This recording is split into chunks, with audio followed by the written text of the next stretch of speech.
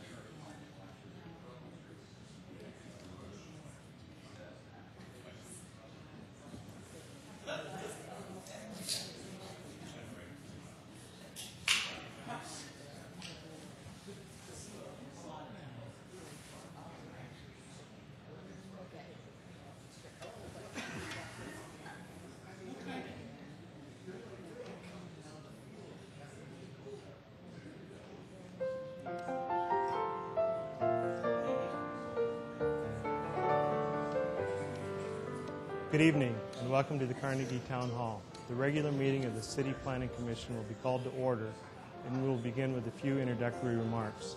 The City of Sioux Falls Planning Commission serves as an advisory board to the City Council. It is the responsibility of the Planning Commission to consider and make recommendation on land use and zoning matters. Conditional use permits and minor amendment requests will have final action here this evening unless appealed to the City Council in writing within five days. Any decision made on preliminary subdivision plans or future land use amendment requests tonight will be referred to the City Council for final action at the third council meeting of the month. Any decision made on rezoning requests, major amendments, or ordinance amendments tonight will be referred to the City Council for final action at the first council meeting of the month. Council meetings are held at 7 p.m. here in the Carnegie Town Hall and are televised. Any action taken here tonight on a final development plan is final. The Planning Commission will first approve the consent agenda and then the regular agenda. In order to place certain non-controversial items on the Commission's consent agenda, planning staff and the Planning Commission applies the following criteria. First, the request conforms with the City 2015 Land Use Plan. Second, the planning staff recommends approval of the request. And third, there are no audience members present or written comments received in opposition to the request. And fourth, the application meets all conditions and requirements of the ordinance. Once the consent agenda items are approved, you are free to leave. For the regular agenda, the following normal public hearing procedure will be followed. By first requesting planning staff to present a brief report on each item. Second, the petitioner will be requested to come forward and make a statement or answer questions. After the petitioner, anyone from the audience who wishes to address a particular agenda item shall be recognized. Then, the Planning Commission will discuss the matter further and take appropriate action. We ask that anyone addressing the Planning Commission other than staff move to the podium microphone, identify themselves, and state their address for the record. Please limit your comments to less than five minutes. As a courtesy to everyone here tonight, we ask you please either turn off or silence your cell phone and pager. This meeting is being televised on Channel 16 and will be rebroadcast Saturday at 10 a.m., Tuesday at 7 p.m., and Wednesday at 1 a.m. Thank you for your cooperation.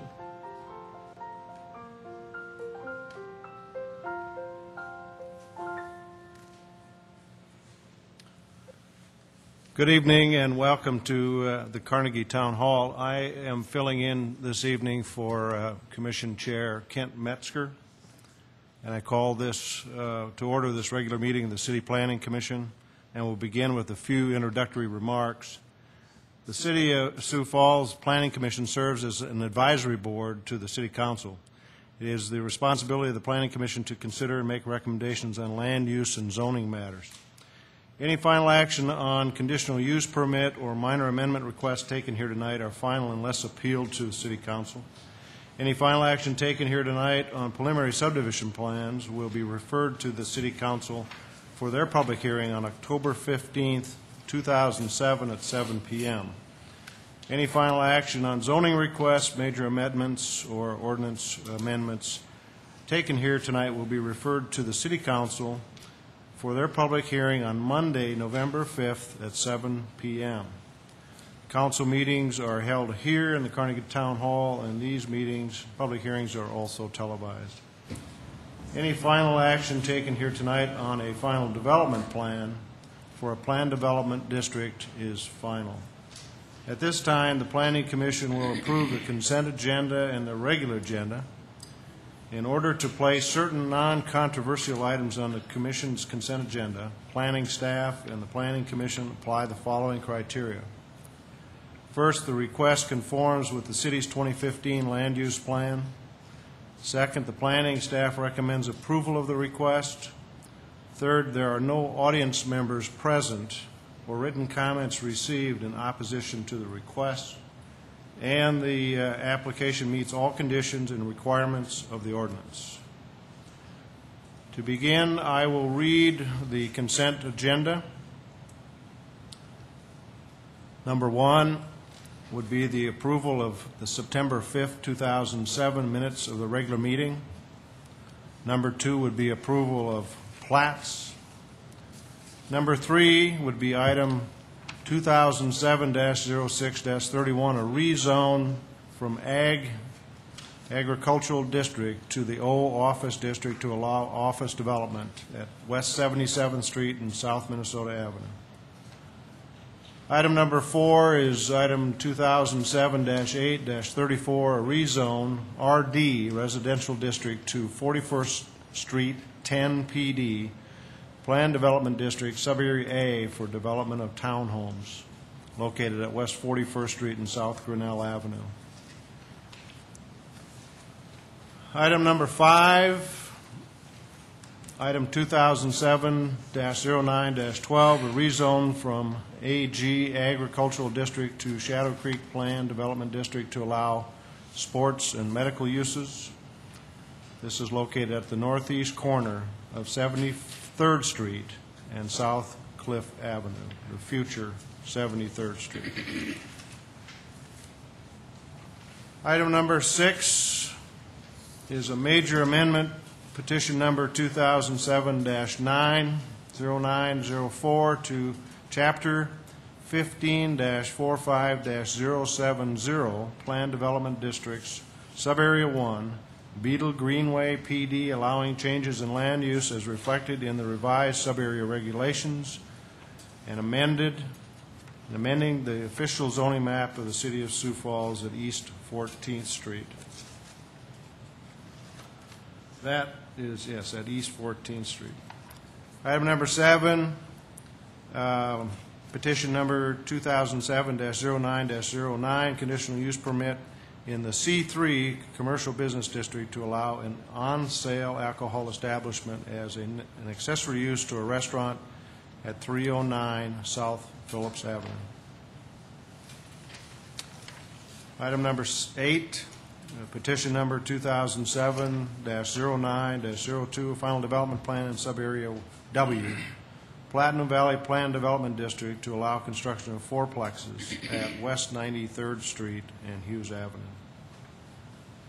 And finally, item nine, petition number 2007-09-03, a final development plan in subarea D, Northridge Plan Development District to allow construction of a 48 multifamily dwellings at 2007 North Career Avenue.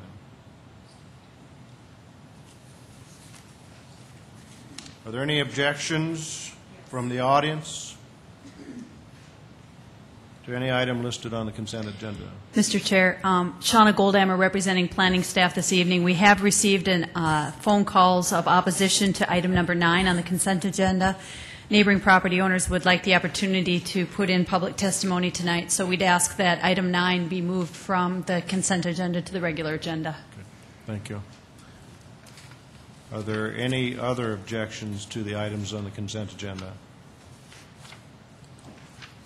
Hearing none, are there any objections uh, from the commission to the items and the comments made by staff regarding the consent agenda?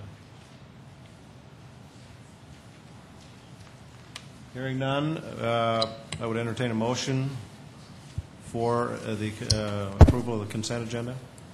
Mr. Chair, I'll move for approval of the consent agenda, uh, amending it to move item nine to the regular agenda. I second. You have a motion and a second. Is there any discussion? Hearing none, all those in favor of approval of the consent agenda with the uh, one modification signify by saying yes. Yes. Okay, the consent agenda has been uh, approved. Those of you that had items on the consent agenda tonight are uh, free to go, or you could stay. We have a few uh, more pieces of business. Uh, That having been said, I will uh, go through the uh, regular agenda, and we'll get that uh, approved and uh, and move forward here. Number 10, item number 10 is a resolution amending the future land use map as part of the Sioux Falls 2015 Growth Management Plan, petition number 2007-08-16 at northwest corner of Benson Road, Marion Road, from the single-family residential and multifamily residential land uses to an allocation of commercial, office, institutional, multifamily, and single-family residential future land uses. Item number 11 is an ordinance of the City of Sioux Falls rezoning property at North Dubuque Avenue and East Sixth Street from the AG Agricultural District to the RS2 Residential District. The RC Recreational Conservation District and the Wild, at the, and the Wild Meadows Plan Development District, petition number 2007-08-11, and amending the official zoning map of the City of Sioux Falls.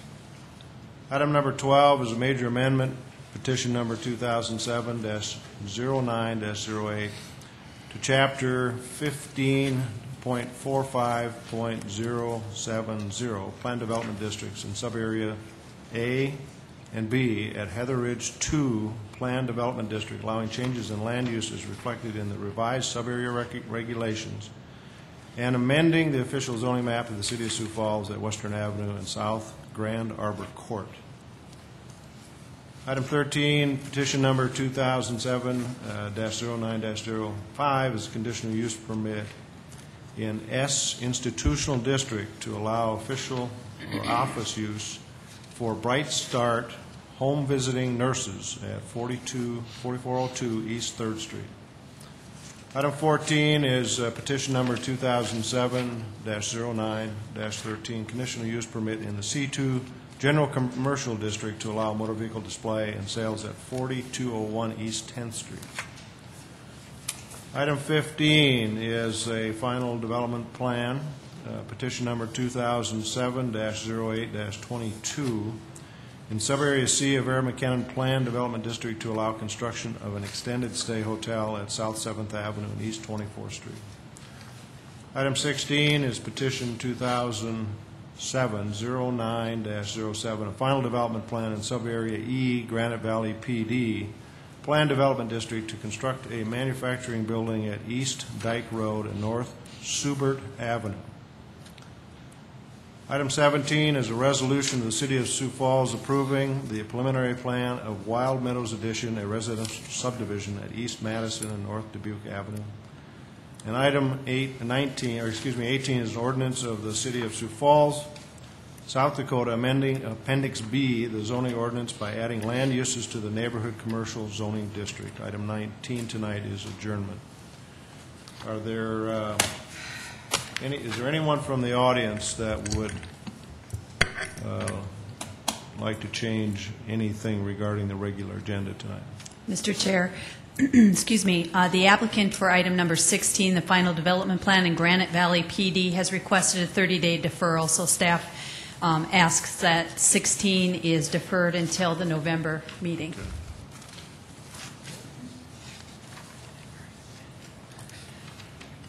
Yes.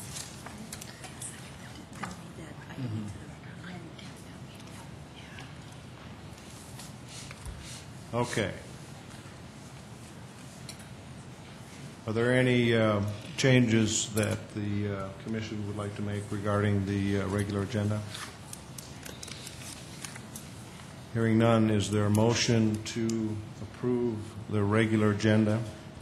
I'll move to approve the regular agenda with item nine moved from consent into the regular agenda and item 16 deferred. I'll second. We have a motion and a second. Is there any discussion regarding the uh, amended agenda?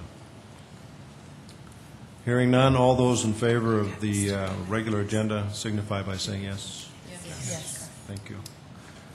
Okay. um, As a courtesy to everyone here tonight, uh, we would ask that you also turn off or silence your cell phones. And of course, this uh, meeting is being televised on Channel 16, and uh, we thank you for your cooperation. And uh, staff, would you come forward, make the uh, staff report for item number nine? Yes. Item nine is a final development plan in Subarea D, North Ridge Plan Development District, to allow construction of uh, 48 multifamily dwelling units. The applicant is proposing to construct an apartment that has 48 dwelling units. Uh, The North Ridge Plan Development District was created in 1998. However, this is the first final development plan request within this plan development district. Single-family residential is developing in the area, which does not require a final development plan or a public hearing before this body. The site location is on the west side of North Career, approximately one quarter mile north of West Maple Street. Access is from the driveway, which will extend from Career and then extend in a northwesterly manner. The Northridge Plan Development, or excuse me, the Northridge Preliminary Subdivision Plan was approved in 2004 for street alignment and lot and block layout.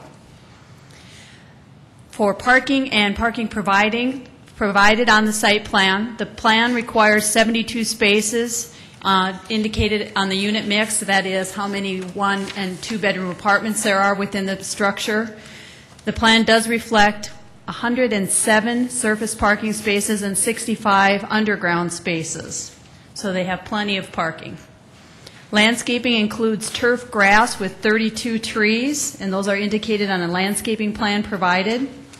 The type of uh, structure is a three-story, 48-unit apartment building.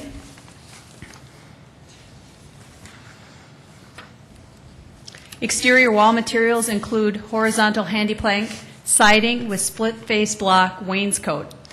The roof is pitched and has asphalt shingles. Uh, The 16 points included in your packets indicate that the final development plan is a complete application. Because the application provides for the opportunity for public input as to the site design, staff does recommend approval of the final development plan with one stipulation, and that sidewalks are required in all public streets. And that concludes staff report. Thank you, Shauna. Any questions for Shauna?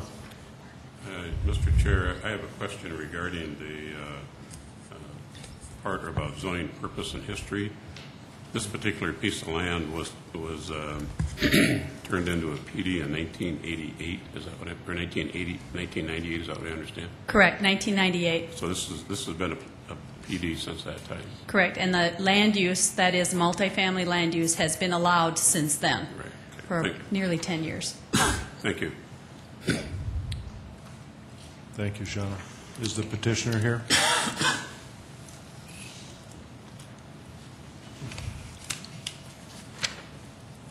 Dale Jans, 300 North Phillips Avenue. Uh, I think Shauna pretty well explained what the uh, project is. When we purchased that property about six months ago, uh, that's what we were told it was intended to be used for, was multifamily, and so we've met all the requirements, made all the submittals to the city. Uh, I think there was a question at one point in time whether or not this property would have access to the residential street on the west. It does not. Uh, The access is off a career, and uh, all the issues with drainage and everything else have been addressed with the city, so just here to answer any questions if you have them. Any questions for Dale?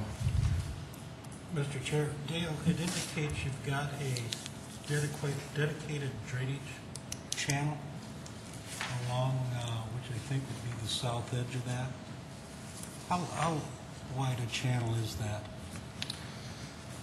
I can't give you an exact dimension, but that's been there for quite some time. I'm going to say it's probably 50 feet wide. Thank you, Dale. So that is not just for this piece of property, that also handles water from some property east of Career? Correct. Any other questions for Dale? Thank you, Dale. Okay, anybody from the audience uh, at this time uh, come forward to address item nine? State your name and your address, please. Good evening. My name is Deborah Mulholland. My address is 4508 West Pat Street. Um, Some of my, myself included, and some of the other um, single-home uh, residents in the area were quite concerned that um, a driveway was going to be constructed, um, despite what plans um, may have already been in because of the fact that um, the, the traffic, the extreme heavy flow of traffic and trucks that um, are constantly putting our children's lives in danger every day. Um, They come in off of Career on Pat Street, and they follow Pat Street through, which is all, it's single homes on one side of the street, the other side has yet to be developed, down to Vincent Street, along those single homes. Um, There are four homes, and there are uh, eight children between those four homes. Um, Just, just between what's on Pat Street and the first home that you come to on Vincent, before these trucks enter um, this drive that they're making through Vincent up along the rear, no, behind, if you go up, and they're going up through the property in the back. Um, And so, of course, because there's this made driveway from all of the traffic, um, and I'm not talking about just 10 trucks a day, it's all day long, um, because they're not using any entrance on and off of Career. Um, We're, we're, of course, as residents, we're going, no, look, they've made a driveway. They're driving it, they're using it, and they're coming through these single-family homes all day long, instead of just going in off of Career. So I don't understand if they're planning to make a driveway on Career, why they haven't done that, and why they aren't using that instead of putting the, the children in danger. Um, We're talking about the huge trucks with those um, tunnel-type pipes. It, you know, it looks like they're moving a small version of the Holland Tunnel, which we know they need to do, but why come through the single homes instead of just going in off of Career? I realize it's paved, but you have to tell the people not to do that. So that's why we're, we are concerned, and we were not given seven days' notice um, for this final meeting. We were only, it was only posted on the 28th, which is only six days. Um, So a lot of the residents were concerned that we had no idea what was going on. Um, A lot of us have just purchased in the area and have just moved to this area and are learning about this, and not even giving enough time for us to group together as residents to be able to talk with the Jans Corporation, say, you know, could you guys go in off career? If, if you're not, otherwise, are you making a driveway here? And can we talk about it? That's what it looks like to us. Thank you. So your primary concern is the the traffic and whether or not there will be any connection to Vincent? Right. Our primary concern is, um, our two concerns are that there be, um, that the, the traffic for the apartments and, and that come in and exit onto Career, that they enter and exit onto Career, that there's no through traffic into the single-family homes. Um, We would have issue because if you see, there's, um, Later on, there's uh, a future planning for a future drive and future parking and future buildings. So there are more dwellings yet to be constructed here.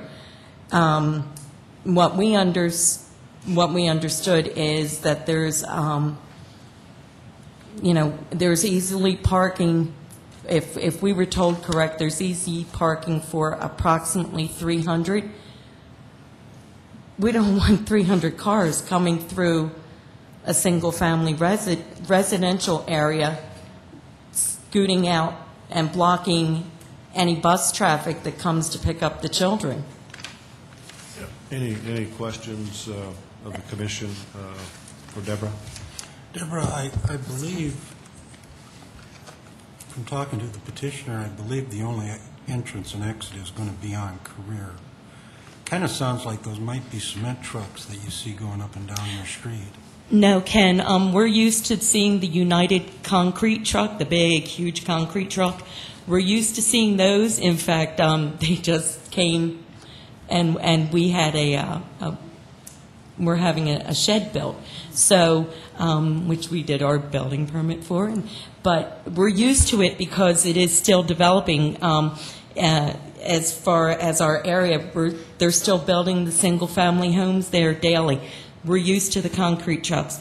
We're not used to, um, trucks that are carrying panels, um, they look like preformed concrete panels that are as high as this initial ceiling.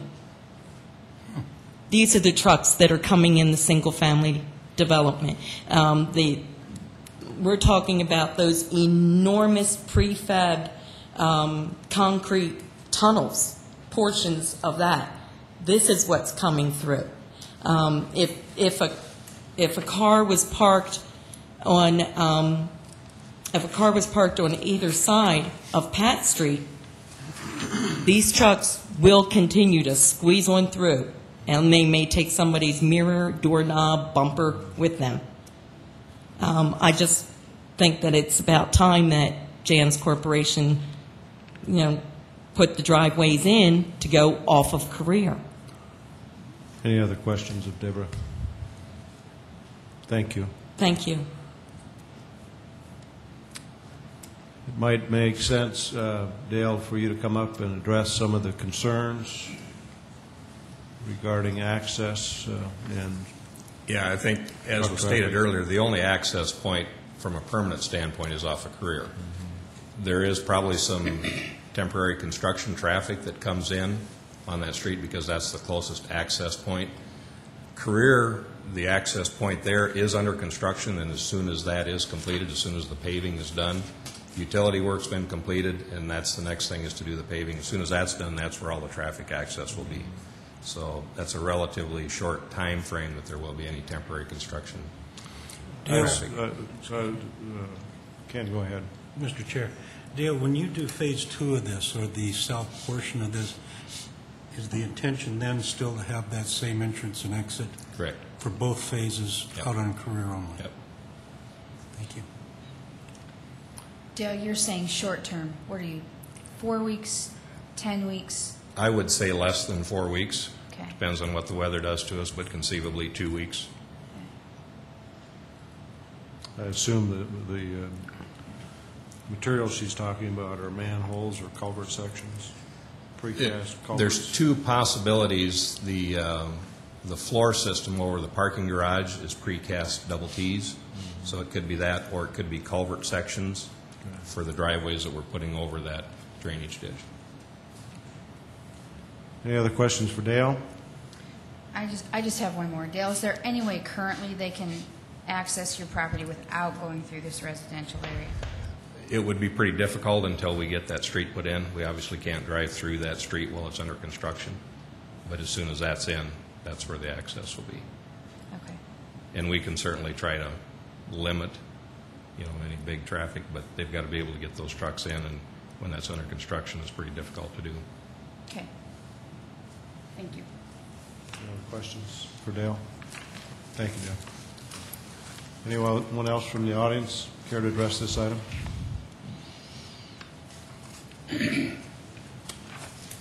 Hearing none, commission action. I'll move for approval with, for item nine with the one stipulation. I second. We have a motion and a second for approval of the final development plan with a single stipulation. Is there any discussion?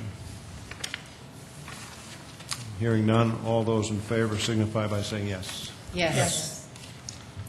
Motion passes.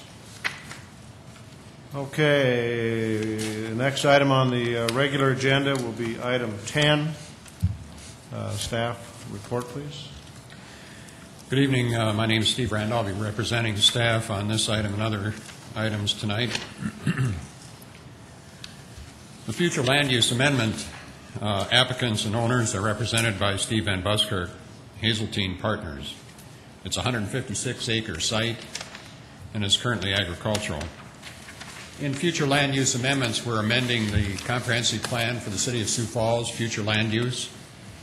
There are five items addressed in the application form. Those are indicated in your staff report. Briefly summarize the petitioner's, excuse me, information that's provided. Uh, Petitioner states that it's consistent uh, land use with higher traffic roadways of Benson and Marion Road and is conforming to access standards uh, proposed by the city of Sioux Falls. Both Benson and Marion Road are arterial roadways, and therefore access is limited. Uh, The applicant is prepared to present to you a mix of land uses that would be appropriate on the property. Our current uh, land use designations limit the number of uses that can be indicated on the plan, but I believe the petitioner would like to talk to you about a mix of land uses.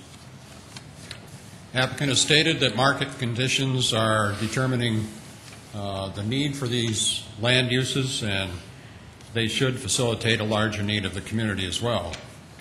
Applicant states that consistent growth is mandated by the ordinances uh, that they will be in compliance with, and that they are addressing arterial roadways, access points, limited subdivision connectivity, land use transitions, and community connectivity all at the same time. I believe they're looking at a definition of what they call an employment center. Uh, The employment center is not currently defined in the ordinance. They are proposing, uh, again, this as a mix of land uses in response to market demand. The introduction of the university center into this area and large employment centers will uh, need the support of neighborhood commercial. Therefore, commercial is being added to the plan. The applicant should be prepared to discuss the types of commercial that they see within their development. The applicant states that it's consistent with using existing facilities to carry out subdivision plans. Uh, Traffic and utility studies may be required to determine the capacity of existing infrastructure to support proposed land uses as well as the feasibility of increasing capacity if needed. And this can be addressed in the subdivision planning and zoning that is a process that's yet to come. There is a summary in your information uh, of the land uses. Basically, what we have out there now in the current plan is 150 acres of single-family residential and 6.7 acres of multifamily residential. The applicant is proposing to reduce the single-family residential to 73 acres, increase multifamily to 23.8 acres, and add 15 and a half acres of office institutional uses and 40.8 acres of what would be a mix of uses, including commercial.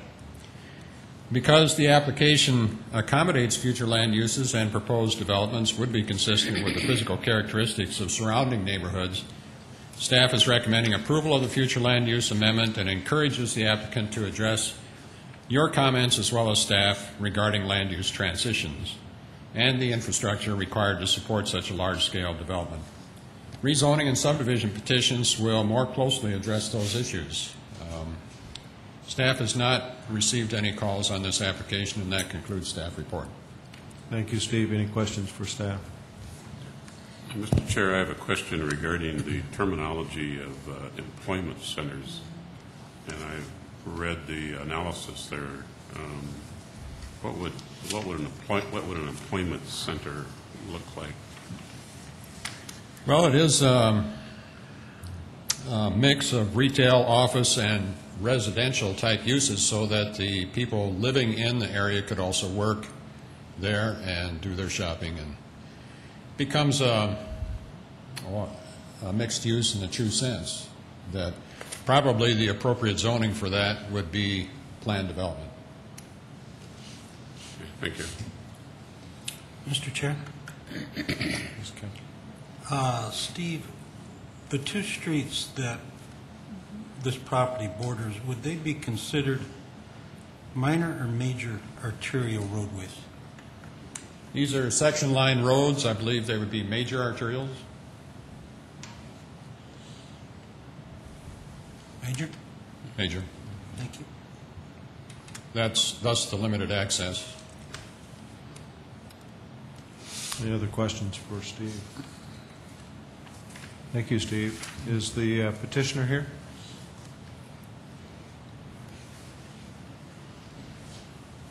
Good evening. Steve Van Buskirk, 5101 South Nevada Avenue. Uh, Thanks for having me tonight. Uh, Kind of go through a few more details, I guess, on what our, our plan is up here.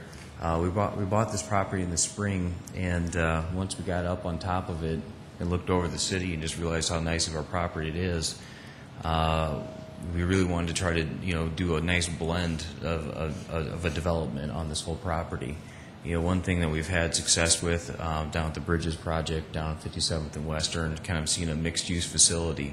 Um, you know, it's actually uh, a little bit on the small side in the sense that we couldn't incorporate some of the, um, you know, the multifamily. Um, we had one uh, twin home development, I think it was uh, 16 units, you know, back there in the corner, but we'd like to continue on with that. We've had good success down there. We like what we saw. Uh, this plan, this concept plan that you see in front of you, um, kind of fell out of that. You know, we've got, um, you're asking, Ken was asking about, um, you know, these are major arterials or, or minors, you know, they're, um, they're major arterials, and the new access standards are going to be quarter mile access to these two streets. Um, and that's, that's where you see in the, the marks there in the red. Um, you know, that's, that's where we're going to get in and out of this project. Uh, so that's, that was kind of our starting point. And then the half mile, the half mile lines are going to be the new access points. You know, the whole idea here is that 300 by 300 corner is, you know, the thing of the past. You know, you guys have approved a lot of those over the years, but, you know, that's, we're, we're moving into a, new era of, of uh, higher speed uh, roadways on the, on the section lines, for limited access, and keep the traffic moving. Uh, So as we, we look, we looked at those things, the, you know, the, the, the land and, uh, you know, those, those limited access points and some of the other topography issues, and just the area in general, we think that there's a real opportunity out here to you know, really develop the neighborhood. You know, I'm, I've heard it more as neighborhood commercial than employment center, I guess. But you know, we, you know, there's there's a there's a lot of housing out there. Um, it hasn't really you know totally taken off like some other areas of town. You know, but what we're what we want to do is try to encourage the whole package, you know, and and you almost have to do that on your own property now because these these higher speed roadways, you're not going to have pedestrian traffic going across Marion Road. It's just not going to happen. Uh, so what we want to do is down there in the corner, which we're showing as commercial because that's the way. Uh, you can't show it as mixed use. We talked about that. You just can't show it because the way the ordinance is written to modify the 2015 plan. That's why it's a big red C4 corner because that's what you have to do at this point. Um, you know, but if we have that mixed use down there in the corner, if you look at the concept plan, you know, people can live up on the hill. They, they can live in the apartments, which is going to be kitty corner across from that, re, you know, the uni, university center, which we think is a big opportunity for a lot of people living. You know, but they can, you know, go down to the corner and they can um, shop there. Uh, they can work there. You know, people will be living down there. Uh, so we're going to mix all that, all those things together. Uh, a planned development is where we're heading for that mixed-use corner where the red is at. Uh, but you know, we just that's the next step. You know, that's next month. I'll be back talking about the same thing. So, um, you know, so that that's that's kind of the general concept where we came from. Uh, a couple things, you know, uh, you know, you can see actually on that drawing also. There's a big dark line kind of following the the orange there. There's a pretty major drainage way. We're working with the developer to the north uh, to maybe do uh, the detention cell that'll service both of us because we're there's a pipe going underneath Marion Road there, and you know it's a natural spot. And if you drove out there, happen to drive, actually you can see in that area a little bit too. You can see the waterway in that aerial. Um, you know we can incorporate that detention cell into our design rather than having you know the, the traditional detention square detention cell that doesn't really look like a lot. So we want to try and incorporate that in and and manipulate that as, and make it into a feature rather than just detention. Um, and we've got the same condition if um, if you go back to the, the yeah there's the waterway right there. If you go back to the the uh, color map, the amendment map, we've got that purple. Uh, the reason that doesn't go straight through is because there's a detention cell needed in our southwest corner out there. You know, so the you know the roadway system. If you look at the concept map, yeah, right there. That's why it does a, a bend to the north because we're going to have a detention cell there also. Uh, you know, we've um, I think that's kind of the, the general plans. We actually worked on um, uh, the uh, subdivision plan a little bit today. We're actually looking at taking 54th Street North, which is our northern boundary. We've been working closely with the other developer to the north, and I think we're going to uh, bring back, or we will be bringing back a plan to run 54th Street North into a T intersection, so that first road closest to Marion Road uh, will go north and south, and we'll tr- what we're trying to do is, you know, essentially it's a traffic calming device, not to, you know, you know, let that uh, that traffic into the subdivision, so that you know the people can come down the hill to go to the. Steve, I'm out you're of time. probably getting into too much Okay, I'm detail sorry. for future Okay. land use amendment. Okay. But uh, I'm sorry. uh, we appreciate uh, what it appears you're uh, attempting to do here. And if it's okay, I'll ask the commission for uh, questions. Absolutely. If you'll stay, stay up here for a minute. Any questions of Steve regarding the land use amendment? Mr. Chair, I do have a quick question. So, so understanding that employment centers aren't part of our current definition, um, you're talking about the area that's now designated as red as commercial, is that, that's what you're calling an employment center, or what we hope to call someday an employment center? That's the, that's the area that you're designating for that? Right, and it's a mixed use, correct. Yep, Yeah, okay. absolutely. It's a mixed use facility, generally that, you know, you've been hearing about it, the fifty percent commercial, uh, thirty percent office, twenty percent multifam, you know, multifamily residential, so that mix. In town, would the bridges be the closest thing that we have to an employment center concept, or is there anything else that is close to that mix? Because the Bridges Center doesn't quite get there in terms of the residential mix, but is That- that kind of close? That, not, not for residential mix. I mean, we've got 22 acres down there, um, and I think there's maybe two and a half acres of, of, uh, you know, residential, you know, down there, you know, and then, and then we wish we had more because it kind of gives you that baseline of people, you know, shopping and hanging around and the activity, so we wish, it- we wish we would have had more down there. So maybe it's more a question for staff. Do we have anything that currently sort of is near that employment center definition? No, we do not. But if you look at the map that's up there, if you look at the northeast corner versus the northwest corner, mm-hmm. i- it's the same concept. If you look at that northeast corner, you see there's a little red commercial corner there, and there's some office, there's some apartments, there's some single family. Okay. It has the same traffic pattern where you see the loop road that goes in a circle, so you got the half moon. yep. They're going to do the same type of development. We're just not going to paint the developers into the box and say, you have to build into this polygon and this polygon and this polygon. The numbers are still generally going to be the same as that northeast corner. But do they have to put the co- commercial in that corner, or they, can they move it to the middle and maybe put the apartments in the corner, or the office? That's what they'll decide to do as they develop it and bring their zoning in. Okay. But at the land use stage, we don't need to see that. Sure, thank you. Mm-hmm. Yeah. Say, Jeff, Looking at that red square across the street to the east, Yes. is that a street going into that development? No, that's a 300 by 300 foot square corner that never got built.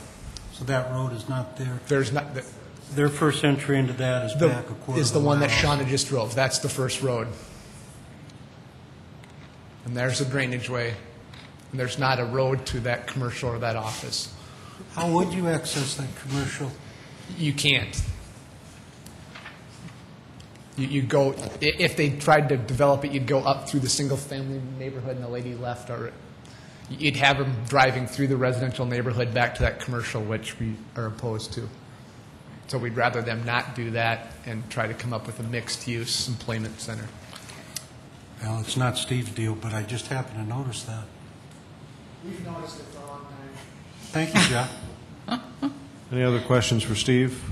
Steve, I, I was glad to hear you say that this 40 acres, although it's a land use designation, is not 40 acres of pure commercial property. No, all I of our, hope that's been explained to everybody well. Yeah, that's all of our discussions. You know, we're looking for that mixed use. We're just not sure how it's all going to blend together in the final product, but that's, that, those kind of percentages are what the discussions have been. I think this is really the first time, Ken, that uh, in the recent past where we've seen these large blocks of commercial based on today's land use plan uh, with the uh, restricted access, uh, where someone's actually talking about um, a concept that responds to those very, I guess, challenges or opportunities. So I, uh, I hope that you'll work with somebody with, with a lot of talent to put this together because it has the potential to be the first employment center that actually uh, responds to the things that we've been discussing with a lot of developers in the last six months. So, anything else for Steve? Thank you, Steve. Is there anybody else in the audience that would care to address this item tonight? Hearing none, uh, I would entertain commission action. Item 10. Uh, Mr. Chair, I'll recommend approval of item number 10, the future land use amendment. I'll second. We have a motion and a second for approval of the future land use amendment. Is there any further discussion? Hearing none, all those in favor signify by saying yes. Yes. Thank you. Okay, uh, item 11, staff report. Item 11 is a rezone from agricultural district to the RS2 residential, RC Recreation Conservation District, and the Wild Meadows Planned Development District for future residential development and a city park. The purpose and the intent of the RS2 district is to provide areas of residential use with a gross density of generally five to seven dwelling units per acre. The district permits single-family dwellings, two-family dwellings, and supportive amenities such as community fa- facilities as parks, playgrounds, schools, libraries, and churches. The application also includes a neighborhood park in the RC Conservation District, and this is to provide open space and natural areas for recreation. The Planned Development District is uh, provided to in- increase public review for development projects, and that is also provided. The new Planned Development District and the zoning regulations associated with the Meadows Planned, or excuse me, Wild Meadows Planned Development District is included in your staff report. Uh, The site is located midway between East Sixth Street and East Madison Street, uh, east of Dubuque Avenue. The site is currently generally uh, characterized by rolling hills and undulating ter- terrain. Proximity to schools, parks, churches, and on-sale alcohol establishments includes Washington High School located one half mile to the southwest. The plan incorporates a neighborhood park. Messiah New Hope Church is located to the west, and there is no on-sale establishments in the proximity. Because the application meets the intent of the comprehensive plan for residential and park development, staff does recommend approval of the rezoning. And that concludes staff report. We will have uh, later on the agenda the preliminary subdivision plan, so we can talk about streets and lots and blocks and layout, that kind of thing. So we'll get into more detail of that later. Thank you, Shauna. Any questions for Shauna? Thank you. Is the petitioner here this evening?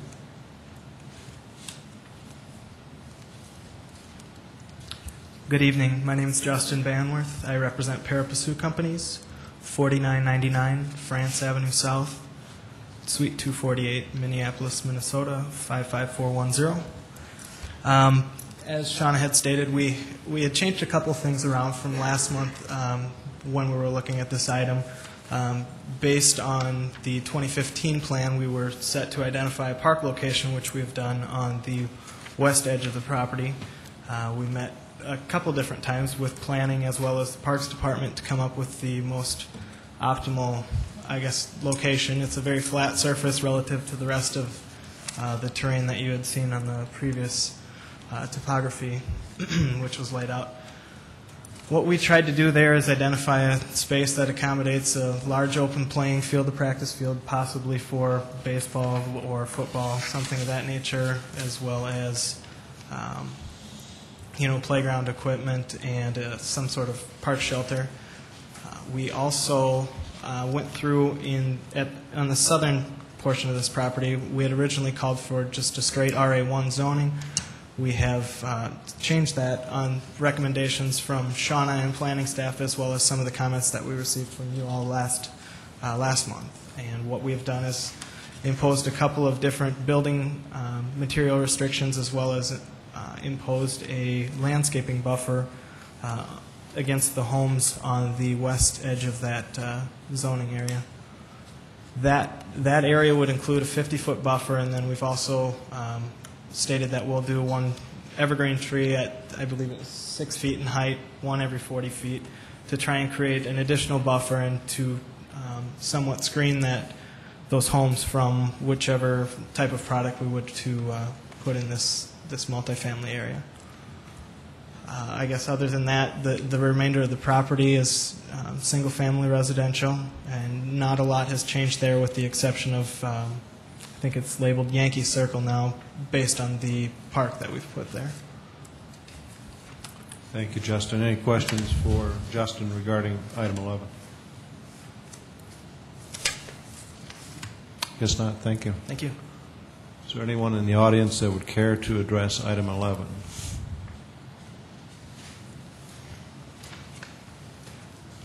Seeing none, commission action? Move for approval on item number 11. Is there a second? I will second. We have a motion and a second to approve the rezone. Is there any further discussion?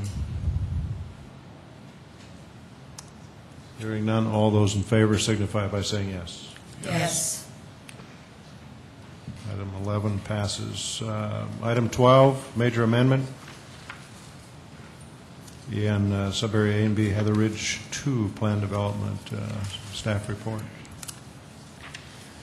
The applicants and owners are represented by Mike Van Buskirk, uh, and it's an 18-acre site currently vacant, but zoned as the Heather Ridge 2 Plan Development District. Uh, The sub-areas that we're looking at are A and B. The The applicant is proposing to adjust the sub-area boundaries to reduce the overall density of development in this PD by reducing the size of sub-area B and increasing the size of sub-area A by the same amount.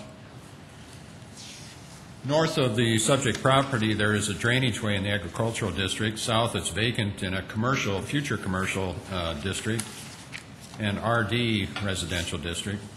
And then to the east, there's a major drainage way in the agricultural district. And to the west, uh, there will be offices in the Boulder Ridge Estates PD Plan Development District.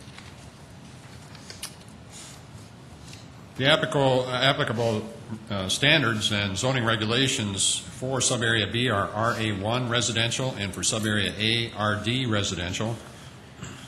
Located at the northeast corner of the intersection, uh, this is uh, contained development, a contained subdivision of residential uses by reducing the overall density at this major street intersection.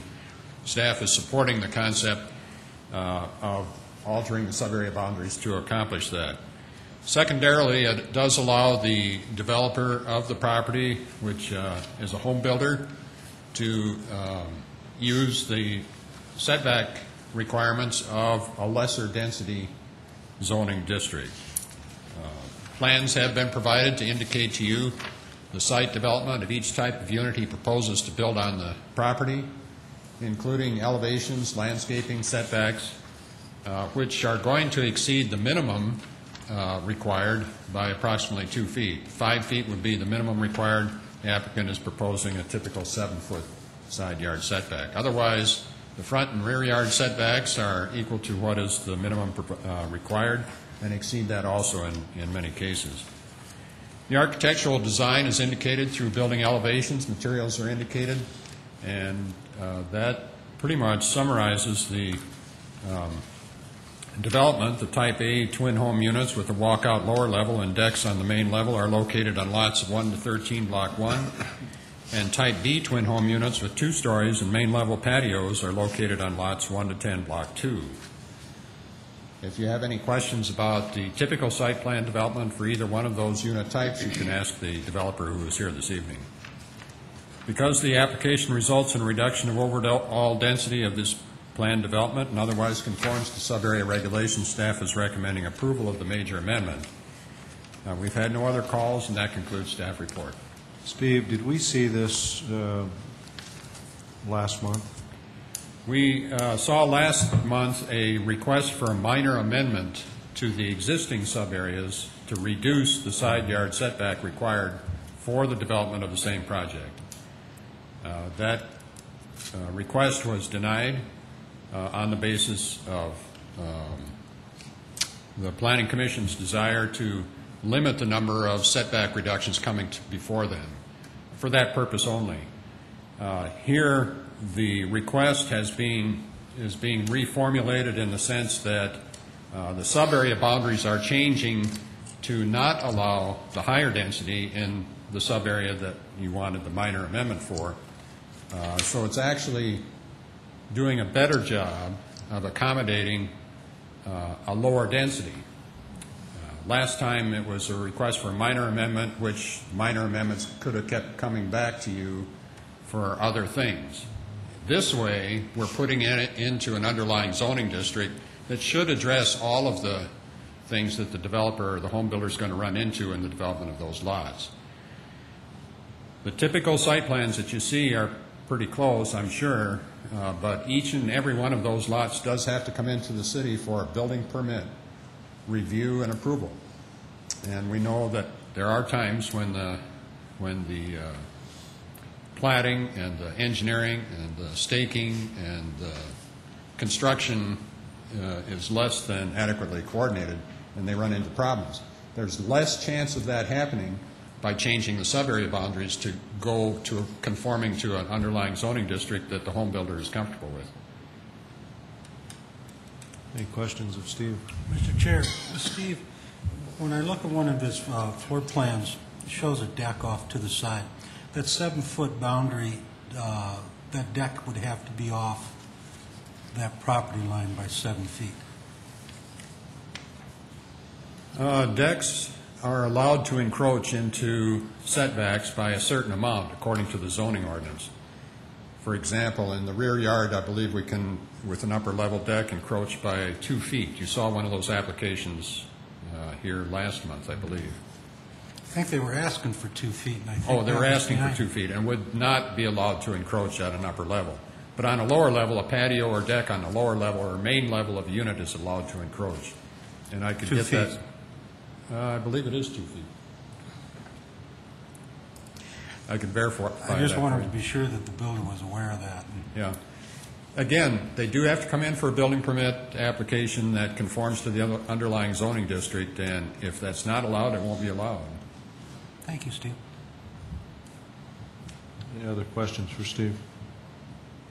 Steve, is this plan any, truly any less dense than the plan we saw a month ago?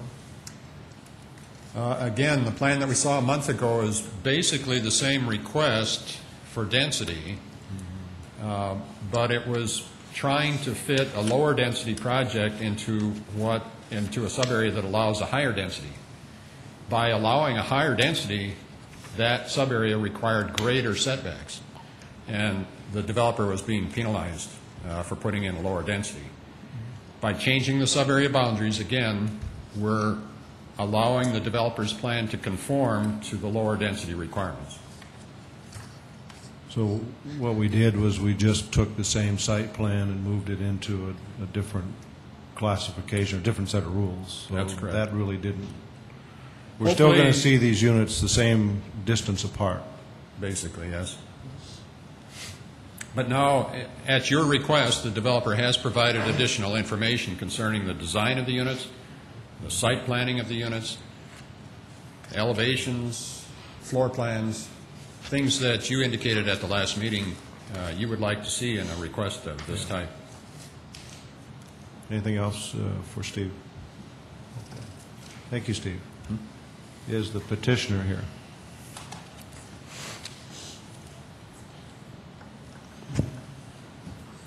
Mike Van Buskirk, 5101 South Nevada.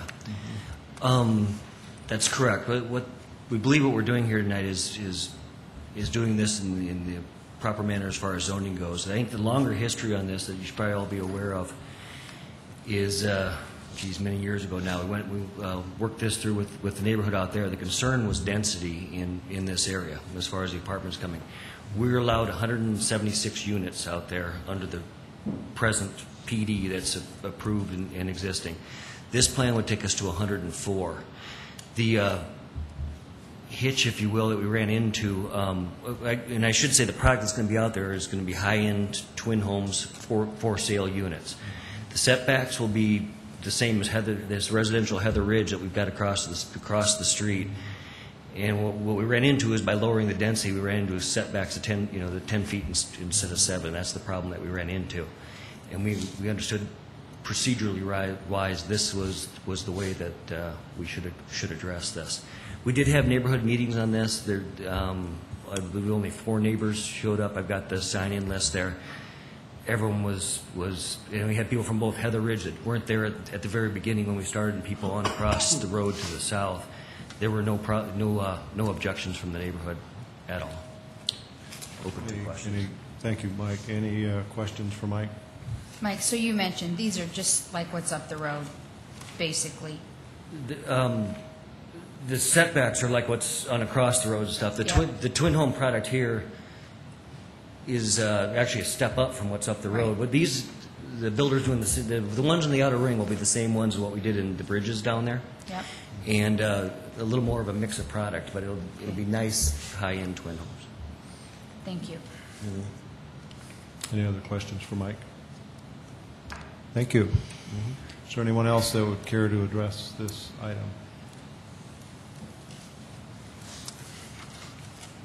Commission action. I'll move for approval of item 12. I'll second. We have a motion and a second to approve the major amendment. Is there any further discussion? Hearing none, all those in favor signify by saying yes. Yes. Thank you. Okay, item 13, conditional use permit in the S Institutional District to allow office use for Bright Start home visiting nurses. Steve? This is uh, basically an office development. Uh, The purpose of the applicant, uh, who is Dennis Dugard Children Home Society, uh, is to develop a office space for mental health support staff and administrative staff in an existing building on the Children's Home Society campus. And if you have been out there, it's a, it's a nice campus off to the side of the street uh, with its own driveway back in and, and development around parking and so on. This particular uh, project is located at a corner of the campus and is accessed off a side street across from uh, school. Existing land use is a former foster care residence on the campus. Based on the floor plans provided, uh, minimum off-street parking requirements for the building, uh, which is about 4,000 square feet, is 13 spaces, and the applicant does provide us with a parking lot plan for 20 spaces, including one van accessible, if necessary to satisfy the off-street parking requirements. The applicant stated that they are looking into the possibility of using existing uh, campus parking to satisfy the parking needs of this particular project, and perhaps they can address that with you this evening. Otherwise, they do show a plan for parking improvements that would satisfy the zoning requirements, which they are going to have to do for their building permit. Also, uh, screening of the new parking lot, if it is provided, is required only for adjacent residential uses, and there's only one place where that happens, and it's probably off to the side corner, be the northwest corner of the parking lot, if, if that's necessary also. Would also be uh, coming in with the building permit. Also, with the building permit review, we'd be looking at the landscaping, they do re- are required to put in the landscaping uh, uh, that's required for development of street frontage, including one tree for every 50 foot of street frontage, and the screening of the par- parking lot if they choose to do it that way with landscaping, and also one tree for every six parking spots, whichever is greater. Because the application is compatible with existing uses on campus and uh, is a current development that is actually probably going to reduce the amount of traffic going to it, since the nurses uh, will be coming in and leaving the site for the day and then only coming back to pick up their vehicles. Um, It should be an improvement of traffic situation. And the extent of the work proposed uh, requires a complete plan check by zoning and building services. Staff is recommending approval of the conditional use permit. We've had no calls on that, on this application, and that concludes staff report. Thank you, Steve. Any questions for Steve? Mr. Chair, Steve, you lost me there for a minute. Are you saying this plan, as they've laid out, is showing 20 parking spots? That's what they intend on doing? That is what they uh, included in their initial application to us, just to show us that they can meet the parking requirement. Uh, They indicated to me during the process of review that they would like to look at the possibility of using other parking on campus uh, to satisfy that requirement. Uh, Perhaps they can answer that question tonight. That looks like a fairly good distance from that parking lot to this particular building. I asked them to be careful about that, uh, to make sure that the nurses walking back and forth from parking to their office would, uh, would be okay with that. So this, this could be changed by using existing parking lot if the, if this commission felt comfortable with that. That's correct. Thank you, Steve. Any other questions for Steve? Thanks, Steve. Is the petitioner here?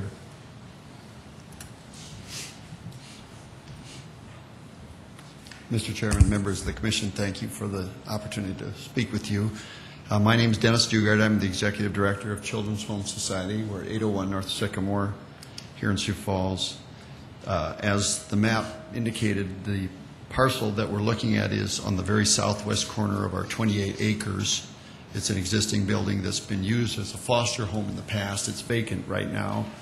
Um, United Way and the state of South Dakota have agreed that we could take over the Bright Start nurse visiting program that's currently operating out of the Department of Health offices, and we would like to do that. Um, a, a cost-effective method of officing these nurses would be to use our vacant building rather than leasing some office space downtown. We looked at the current zoning after we'd submitted the conditional use permit, and I believe we'd actually qualify under current zoning as a medical office. The occupants of the office would be eight visiting nurses, a supervising nurse, a receptionist, and a mental health professional. However, just to be certain that we're, we have our uh, bases covered, we want to go forward with this conditional use permit. Um, I, I must say that the planning staff was very helpful. They did indicate it would be acceptable for me to come and ask for permission to consider using the existing property. If you look at what's showing on the screen right now, uh, this very afternoon, I parked uh, at the lower right-hand corner of that lot and walked to the building uh, to the north of it. That is what our staff are doing, doing right now. As you can see, the buildings are clustered to the north and west, and most of the parking is to the south and east. And so all of our staff are making that walk every day, uh, summer and winter. Uh, What we would hope you might consider allowing us to do is to construct a path from the existing parking to the building, so the nurses would have a direct path um, to the building. If that's not acceptable, we'll build the parking that's in the submitted plans. The reason why we're um, hopeful that you might allow us to, to use existing parking is that we don't see this location as a good long-term location for the nurses. We'd eventually like to relocate them back in the downtown central core area where they're a little more centrally located, uh, from which they could visit the uh, expectant mothers to which they're dispatched every day. So uh, this is a good short-term solution for the next year or two, and depending on financing and, and availability of space and whether we can manage the money, we're hoping eventually to move them back downtown. We have visited with the county, uh, just very preliminarily with Hugh Grogan about the possibility of the new uh, center that just opened up. It does have some raw space. There's some possibility we could get some grant funding to improve the raw space, and maybe we get a, a quid pro quo of, of free rent if we could get grant money to improve the space, and the county gets something and we get something out of that deal. I don't know if that's workable, but that's uh, one uh, solution that we hope to pursue. Uh, Other than that, we, uh, if the commission decides we should put in the parking, we'll put it in. Uh, Whatever landscaping screening is necessary, we'll do that. Uh, We need to plant at least one more tree, a couple trees, three trees. We'll do that, no problem. Uh, We routinely plant 10 trees every year at Children's Home, just as a process of gradually foresting that property. And so if you would look at that map 20 years ago, you'd see there are uh, more than 200 trees more than were on that property when we purchased it. I'm sure more than that. So, uh, again, I appreciate the opportunity to address you and answer any questions you might have. Thank you, Dennis. Any questions for Dennis? Uh, Mr. Chair, I have one regarding the um, existing property. If you use the existing parking, would there be a safe route for people to walk? I mean, I don't know what time of day or night that people would have to walk that. It looks like quite a distance. We would, we would put in a path from the, from the, I guess you'd call it the lower lot, directly to the house, to provide a safe path. Dennis, isn't there a water drainage area? Yes, we'd right have to through put a slight, a small bridge. But some of that area is, is uh, a very shallow drainage. It's, it's literally mowed. It's not a ravine kind of situation. Some of it is. And so the most direct route would require a little bridge. What, what would you think the distance is? for- It's about 370 feet. So really not any more than they're currently walking if they're going to the north house from this lower parking. Right. In fact, we have, uh, the upper left, as I'm looking at the picture, is our school. And so our teachers are packed, uh, some of our teachers will sometimes park in the lower lot and walk to the school, which is probably about twice the distance. And I've so- noticed some of your staff actually walking to the campus, those that live nearby. Yes, that's right. Shirley Leinbach, Rick Weber. Yeah. Dennis, could you explain to us the use of this building during the day? Are you saying there's no one that, no one at this building? from 8 to 5? At present, there is, uh, the building's vacant. If we are allowed to occupy it as we propose, uh, there will be a supervising nurse and a receptionist there. Uh, They would probably be in the building more than not during the office hours. The other eight nurses and the mental health professional would be out of the building more often than they're in. In other words, again, the, the program uh, is designed to visit expectant mothers, uh, first-time mothers. The ideal uh, mother is an at-risk mother within the first 28 weeks of pregnancy. She begins the program. The nurse uh, visits. It's a voluntary program. The nurse visits free of charge, counsels against uh, alcohol use, tobacco use, counsels in favor of good nutrition, prenatal visits, uh, aims for a good birth outcome, and then continues the visits, albeit less frequently, until the child turns age three. And so that's where the name Bright Start comes from, and it's a proven uh, model that's uh, uh, copied from Denver, uh, the Denver area, and we're with the state of South Dakota, I guess you might call us a licensee of sorts. Use their curriculum and their model. Um, So the nurses would come, uh, drop their car, pick up a pool car, and make these visits. It may be that they wouldn't stop at the office at all, depending on if they have something to do in the office. They may just drop their car at the lot, pick up a pool car at the lot, and then drive away. Dennis, do any of your clientele ever come to an office like this? They do. It would be, it would be fairly infrequent, though, because this, again, it's, it's aimed at at-risk moms. Uh, We want to make it very convenient for them, and so the model is primarily visits to them in the home. Then the, the nurse can do checkups on the baby uh, or toddler, as the case may be, or checkups on the expectant mom in their home. What do you envision the use of this building in two years from now? We If you guys were to move out? Thank you for that question. We probably would revert to a residential type use again. In fact, we're planning on no reconfiguration of the interior whatsoever. So if we were to consider approving this on a two-year basis, uh, you wouldn't have a problem with that? If we were to allow the parking out there? That would be fine with me. I'm not sure how it'd beat everybody else just yet, but We should probably, uh, once Thank you, Dennis, Dennis. once we've uh, finished the questions with Dennis, ask staff, but I believe that as a part of uh, um, this campus, there's probably a parking requirement for the overall campus, and that um, uh, if that's satisfied, if there's enough parking for the whole campus as is, there's probably no requirement for this additional parking in terms of uh, zoning code. That's correct. Uh, The residential use was a higher use as far as parking requirements go. The office is less, and their particular program is way less. You could either tie it to a time frame, or you could tie it to this particular program, if you like. Yeah. If it goes back to residential use, that's an allowed use, and the existing parking is satisfied. Thank you, Steve. Do Any we more need to stip- questions? Oh, Excuse Do we me. need a stipulation, Steve, or can we just approve it as it is, since it does fit within the parking plan of the whole Uh, complex? The applicant has indicated they're agreeable to a time limit if you wish to put one in. Um, Otherwise, uh, staff could recommend that you uh, stipulate approval for this program only. Like we do for a lot of uh, conditional, other conditional use permits. uh, Then, when the program changes and they go back to an allowed use, the existing parking is satisfied. Any other questions for Steve? Any other questions for Dennis?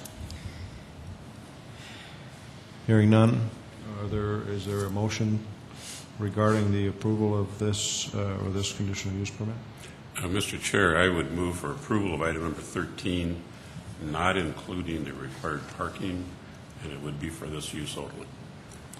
Thank you. Is there a second? Yes. We have a motion and a second. Is there any further discussion? Hearing none, all those in favor signify by saying yes. Yes. Thank you. Uh, Conditional use uh, permit is approved. Uh, Let's move to item 14, which is another conditional use permit in the C2 General Commercial District to allow motor vehicle display and sales. Thank you.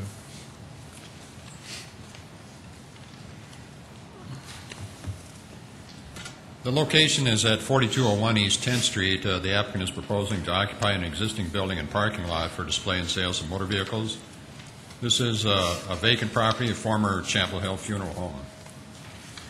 No changes are proposed to the site plan or the building uh, plan on the site. The applicant has provided us with uh, information about uh, signage and landscaping that would be required in order to screen the parking lot from adjacent residential uses. Also, they've indicated adding two uh, parking lot lights on poles similar to what's there now, but also meeting the lighting standards for downward throw and um, glare control. Of the 36 available spaces for parking, uh, the applicant has assigned 11 of them to customer employee parking and the remaining 25 to vehicle display as required by the current parking requirements for this property. We have a letter in the file that uh, indicates the zoning has approved uh, the amount of 11 spaces as required for the property as it is now a commercial property. Remaining spaces can be used for display and sales.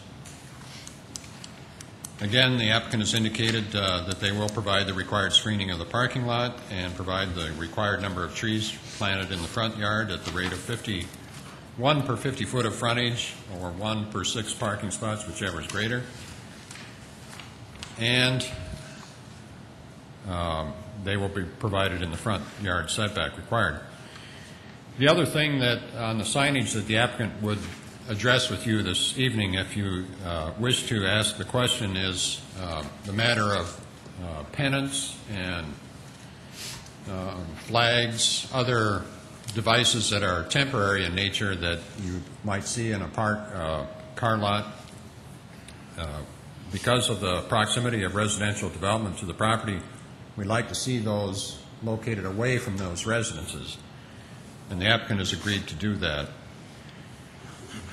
We have indicated as a basis for approval then two stipulations as a recommendation from staff that business signage facing adjacent residential use is prohibited, and then parking lot, or parking of vehicles for sale uh, on the residential street, East 12th, is not allowed.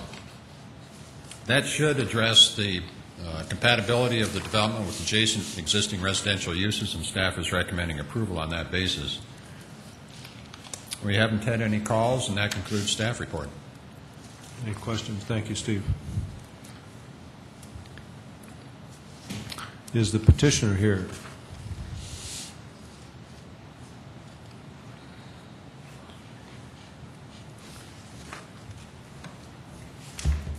Good evening. Brent Antonin with Graham Organization, 5000 South Minnesota, Suite 101, representing Brad Dumdine and Autoland. Do you have anything to add, Brent? I don't. I think Steve covered it. I'd be happy to answer any questions. Thank you. Any questions for Brent? Do you have any concerns about the requirement that the signage should stay away from the residential? Not at all. You know, it, it just so happens that we have a unique property that has two, you know, we're, we're on 12th and 10th, but obviously, we're going to focus all of the efforts to drive uh, sales traffic in from 10th Street. It's, you know, people driving on 12th are typically going home, that kind of thing, or going to work, and so putting signage there isn't a big deal to us anyway. Any more questions for Brent? Thank you. Thank you. Is there anyone else in the audience that would care to address this item? Seeing none, uh, commission action? Motion for approval on item number 14 with the two stipulations. I second. We have a motion and a second for approval of the conditional use permit with the two stipulations. Is there any further discussion? Hearing none, all those in favor signify by saying yes. Yes. Thank you. Okay, item number 15 is a final development plan in sub-area C of Avera McKennan Plan Development District to allow construction of an extended stay hotel. Staff report, please. The applicants and owners are represented by Garrett Peters of Avera McKennan Hospital and University Health Center. The Size of the property is uh, 1.4 acres approximately. It's in a existing planned development that allows uh, residential uses to remain as they were rezoned into the PD. And this is a situation where some of those residences have been removed and they're proposing a new project. The project is an extended stay hotel. Uh, The architect uh, has presented plans, floor plans, site plan, uh, landscaping plans, uh, everything that is required for review of your final development plan uh, is presented here this evening, except for the parking. And we've asked the applicant to address the parking requirements.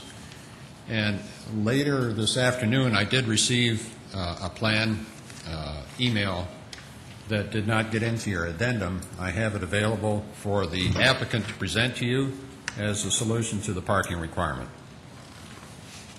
The applicant is proposing to construct 19 rooms as the extended stay facility. On the subject property, two residence buildings and a welcome center are located on three quarters of this block.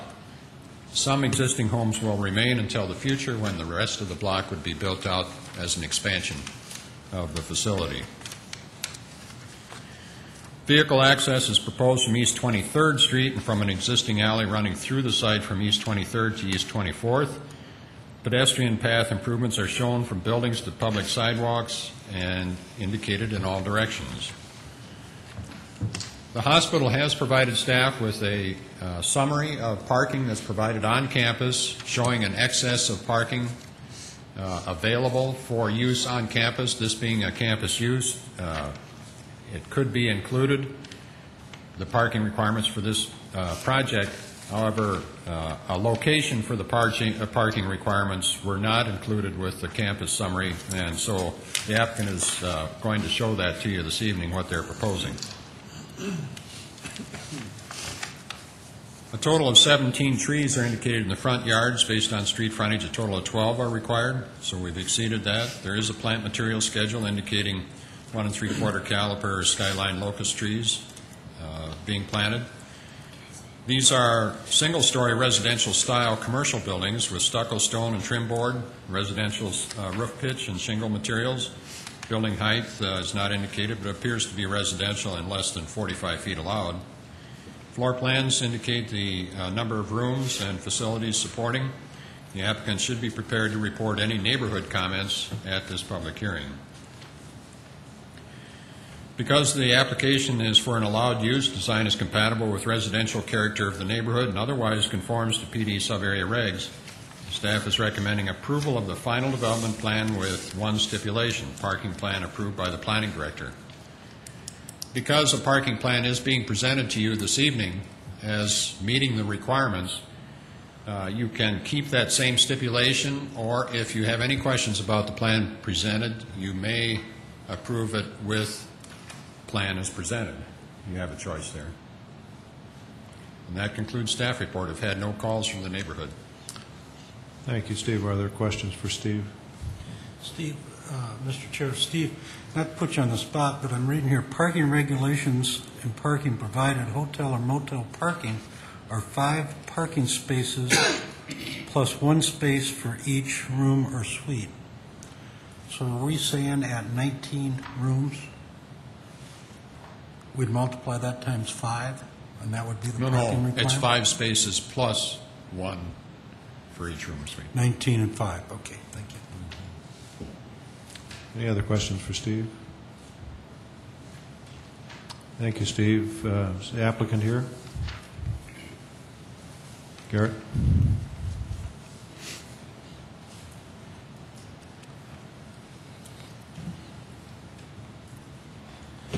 I'm Garrett Peters uh, from Avera McKennan, uh, address 1105 West Eagle Ridge Circle. Uh, I'm here to address any questions. Um, First off, the parking, I guess, we are looking at um, the block to the east, on the, that picture there, the northwest corner of that block. Um, There's three existing lots that we'll be taking to accommodate the 24 parking that's required.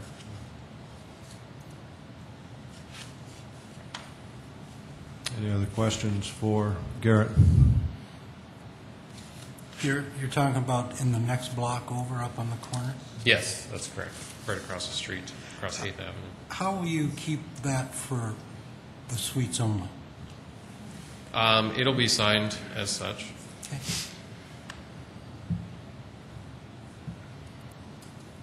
Thank you.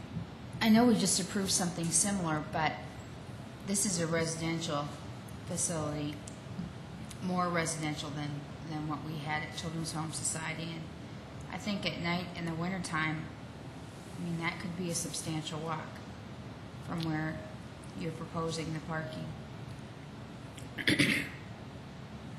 Are there any plans where this existing housing is, is at some point to consider getting some parking there, or? Um, Well, currently on, on the block that we're doing the development, um, we do not own the two properties on the, just to the No. northeast of the building. Um, I guess we, we do own more of the properties to the south of where we're proposing the parking, and in the not-too-distant future, we are planning on developing more of that as parking. Okay, thank you. Any other questions for Garrett? Garrett, I, I, I see where Jesse's coming from. Your actual, your uh, Welcome Center is actually about a half block to the east. The Yes. property to the, uh, where it says East 23rd, I'm not sure if that's north or south on this map. Is that existing parking lot for the hospital at this, this time? Um, To the top of the page there. On the, yeah, actually, on the whole north side of that, um, that is all hospital parking. If I was staying there, I didn't care to park in the parking lot you're going to provide and walk the half block, could I park right across the street in a regular parking lot and not get towed away by Yes, the trucks? um, that is not regulated, especially in the evening, um, which is when these people would be there. It's, it'd be allowed. Is that Orthopedic Institute? Yes.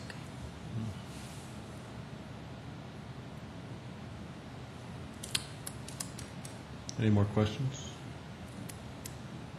Thank you, Garrett. Is there anyone else in the audience that would care to address this issue? Seeing none, commission action? I'll move for approval of item 15 with the one stipulation. I second. We have a motion and a second uh, to approve the final development plan with the single stipulation. Is there any further discussion? Hearing none, all those in favor signify by saying yes. Yes. Item 16 has been deferred. Item 17 is the preliminary subdivision plan for Wild Meadows Edition. Staff report. Thank you, Mr. Chair. The applicant is proposing to create a residential subdivision which includes a neighborhood park. The site is primarily rectangular with undulating topo- topography. Surrounding subdivisions include Richmond Estates Fourth Edition, Cliff Foss Second and Fourth Editions, Aspen Hills Edition, and Canterbury Heights Edition. A vicinity map drawn to scale has been provided, as well as notations regarding the legal description stating the acreages. The location of all proposed and existing streets, alleys, and easements and parks and water courses have been provided. There are two power line easements on both the west and east property boundaries, which are depicted on the plan. The comprehensive plan depicts residential development and a neighborhood park. The applicant has indicated a five-acre neighborhood park on the plan. Staff will continue to work with the applicant regarding access to the park from the north. The planning process accommodates reservation of the land for the neighborhood park, and the capital improvement plan will address improvement cost. Because the preliminary subdivision plan does offer coordination of urban infrastructure and fosters efficient, orderly growth, staff does recommend approval of the preliminary plan. And that concludes staff report. Thank you, Shauna. Any questions for Shauna regarding item 17?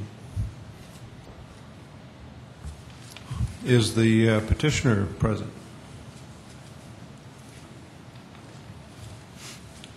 Thank you, Shauna. Uh, I guess I have no further comments, but if you have any questions, I'd be more than happy to answer them.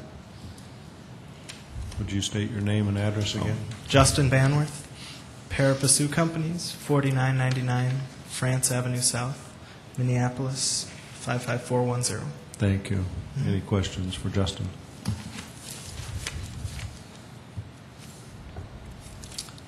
I guess not. Thank you. Thank you, Justin. Is there anyone else in the audience that would care to address this item? Seeing none, commission action. Mr. Chair, I'll move for approval of item number 17. I'll second. We have a motion and a second to approve the preliminary subdivision plan. Is there any further discussion? Hearing none, all those in favor signify by saying yes. Yes. Item 18 is an ordinance of the City of Sioux Falls, South Dakota, amending aben- Appendix B, the zoning ordinance by adding land uses to the neighborhood commercial zoning district. Uh, Shauna? s- Thank you. Staff The- report. The Planning Commission has, has been struggling with the issue regarding retail in neighborhood kind of commercial centers, and should we add retailing into the office district? Um, Staff is going, coming forward with this zoning ordinance amendment to not allow office, or excuse me, commercial land uses in the office district, but resurrecting a, a little-known zoning district that we do have on the books called the C1 Neighborhood Commercial District. And the Neighborhood Commercial District is to provide commercial and service areas located on the edge of residential developments, primarily to serve areas within one mile of the development. What this ordinance does is allows retail trade and service, except a restaurant, in this zoning district that would allow uh, establishments that are generally engaged in selling products, goods, or merchandise to the general public for personal and household consumption. The ordinance amendment allows for retail trade and service, currently not allowed in the C1 district. Staff notes that resi- uh, restaurants are not an acceptable use in the C1 because of negative impacts to surrounding properties due to noise, trash, parking, smells, and hours.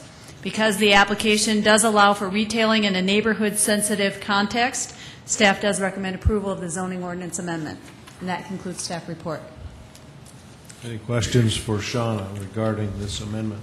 Um, Mr. Chair, I- Shauna, if this particular amendment ordinance had it been amended, how- would that have been an application for the earlier future land use um, conversation on the corner of Benson Road and Marion? Uh, Because I- it- I've seen terminology of neighborhood commercial district. Although the, the neighborhood commercial district doesn't allow for residential. And so what they were proposing was a component of residential. Um, This actually has setbacks and uh, requirements for yards similar to the office district, uh, but it does currently not allow for retailing. So there is a difference. I, I don't, if your question is, would a C1 be, I think there is an opportunity for portions of that bigger commercial site on the future land use amendment to be C1, um, but probably not the whole thing. Right.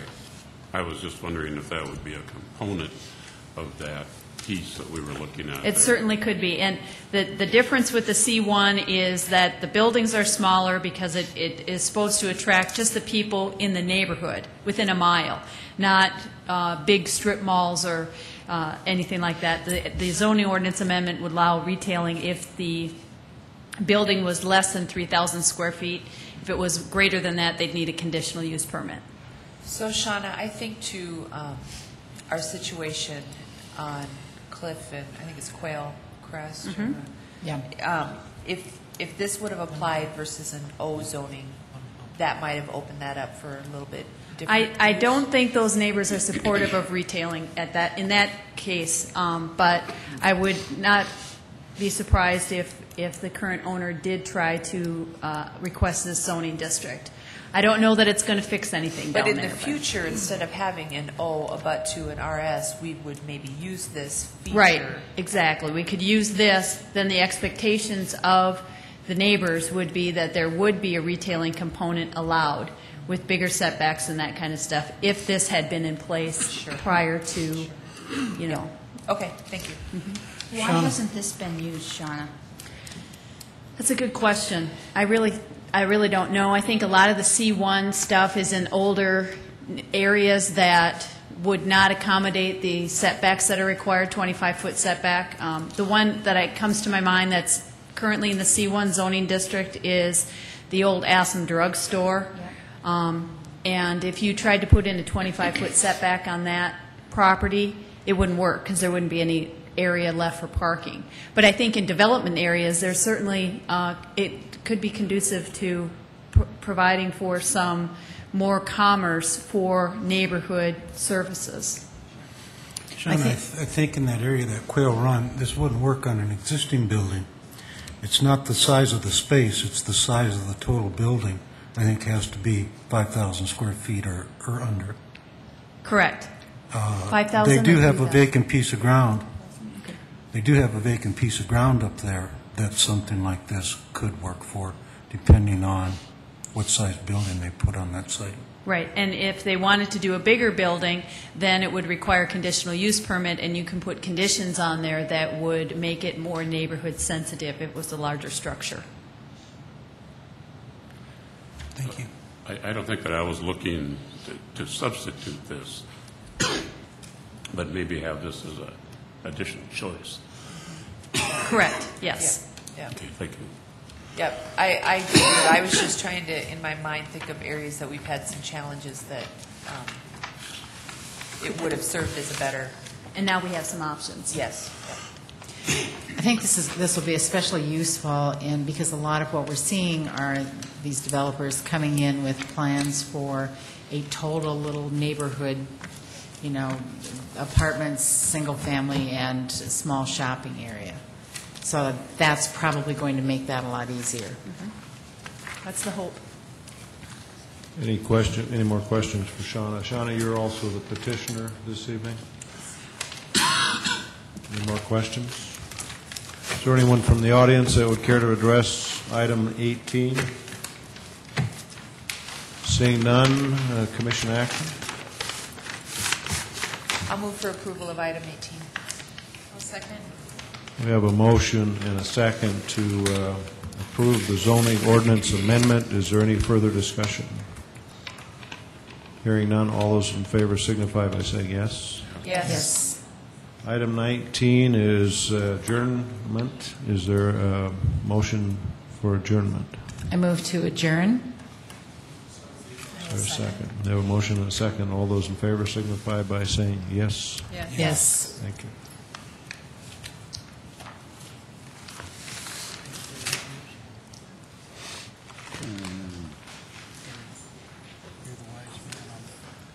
It's going to be very interesting to see what the Van Buskirks come back with. Yeah.